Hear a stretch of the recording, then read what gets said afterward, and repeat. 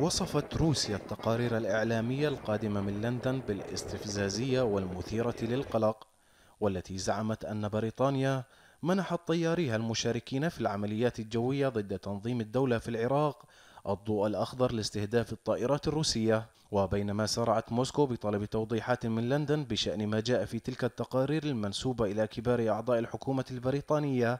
نفى المتحدث باسم حكومة المملكة المتحدة في الشرق الأوسط وشمال إفريقيا إدوين سموال صحة تلك التقارير التي وصفها بغير الدقيقة. المتحدث البريطاني ذكر في بيان له أن الملحق العسكري البريطاني لدى موسكو التقى مسؤولين من وزارة الدفاع الروسية حيث طلبت الحكومة الروسية تفاصيل حول قواعد الاشتباك لطائرات السلاح الجوي الملكي البريطاني في العراق.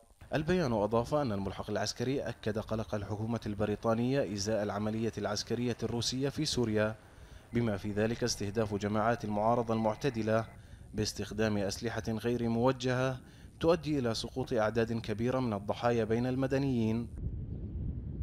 يذكر أن التلفزيون الروسي قد نقل عن سفير موسكو في لندن ألكسندر ياكوفينكو استغرابه لفرضية نشوب صدام محتمل بين الطائرات الروسية والبريطانية في أجواء العراق. قائلا من المعروف أن سلاح الجو الروسي لا يشارك في توجيه ضربات لمواقع التنظيم في أراضي هذه الدولة.